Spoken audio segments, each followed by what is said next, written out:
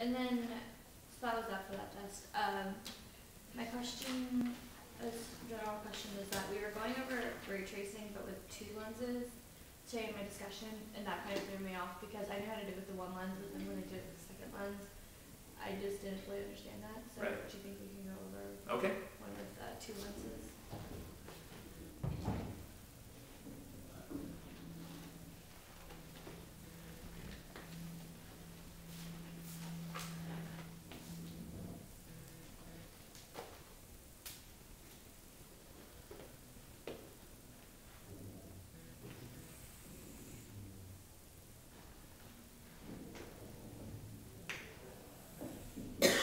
Now, of course, the first key to being able to do ray tracing with two lenses is being a master of ray tracing with one lens. So the first step is to make sure you really understand how to do the ray tracing with the one lens. But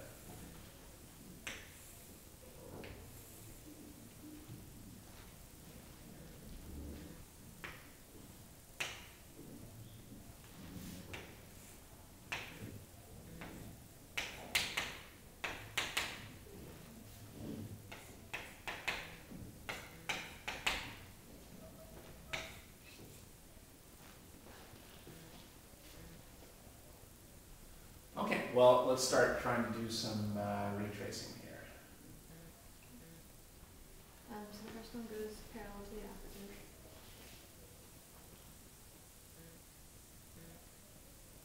Good. And then, um, it's a diverging lens. So.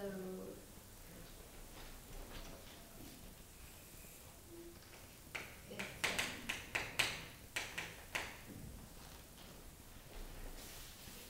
Gonna wanna go up that way. Good. So That's the, right. um, what's that called? The trace back? Trace back. That's what we're Go calling it. Mhm. Back to this focal point. Sounds good.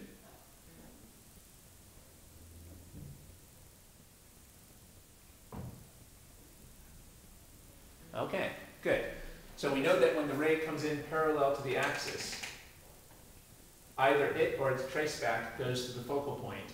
Uh, we might just want to learn that for a converging ray, the outgoing ray would go to the focal point, but for a diverging ray, it's got to be the trace back that goes to the focal point. Because after all, we know that the light has to be going up in this direction. So based on common sense, there's no way this outgoing light ray could go through this focal point on the right. It's got to be the trace back that's going to the focal point on the left. Okay, good. And you've got to draw this dash first, because otherwise you don't know the angle to draw the outgoing ray. So, so far, so good. Mm-hmm. And then the second one goes from top to the center of the lens. Mhm.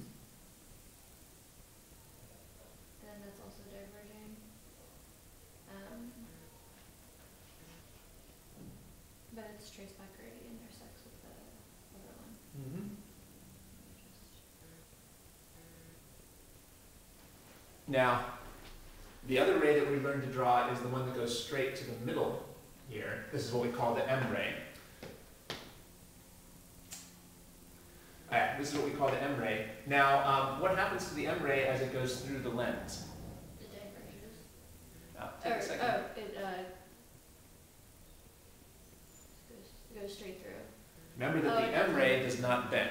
Even though this is a diverging lens, the M ray, the angle of the M ray never changes. The angle of the M ray doesn't change, either for a diverging or a converging lens. Um, so the M ray, we should just draw a straight line. My mind is a little curved. But I was trying to draw a straight line through here. Okay, that didn't matter in this case because the image was at the trace back, but for another problem it would be important to draw the, the M ray uh, correctly over here. So the M ray just goes straight through. Um, it's only the first P ray that it matters that it's uh, divergent over here. Okay, uh, all right, so then we would, And this is my first image. good.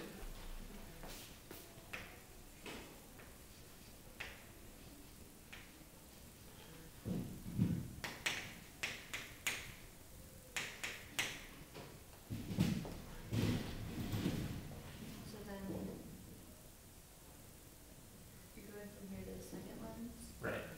but it goes to the first lens first. Uh, let's see here.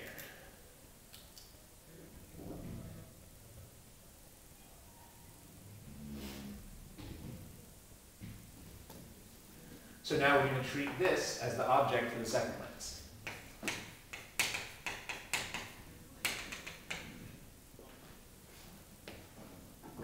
Now, Now, at this point, I think we can pretty much just ignore this lens. We can just ignore this lens, because we already used the lens to see where this object was. Uh, so the point at this point now is we just pretend this lens isn't even here, and just pretend there actually is an object at this point. Let's just pretend there actually is an object at this point. And again, we're just going to ignore this lens over here, because this lens has already done its job of telling us where this object is. So um, I'm now going to draw another P-ray. And I'm going to ignore the idea that this would get bent by the lens, uh, because I've already used the lens to determine where this image was in the first place. So just as a problem-solving trick, as a problem-solving trick, I just now draw a new P-ray parallel to the axis to the top of this. We're just treating this like a new object. And then it would, uh, go down to the second focal point. Now this one, we use the focal point on the right. Good. For a converging ray, the outgoing light actually goes to the focal point, not the trace back.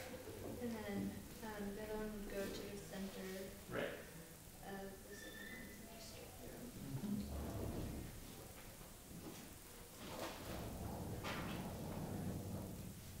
Oh, you brought a ruler, excellent. I was not prepared.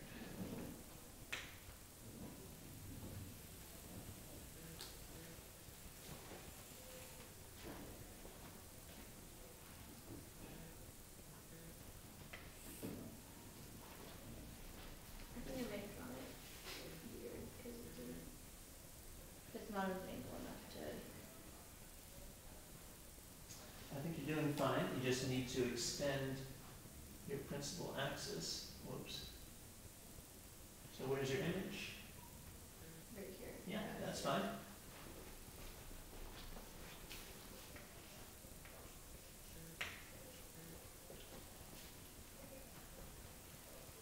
Okay, um, picture isn't coming out very good because notice that this is way far away from here, so this should be shrunk if you look at your chart.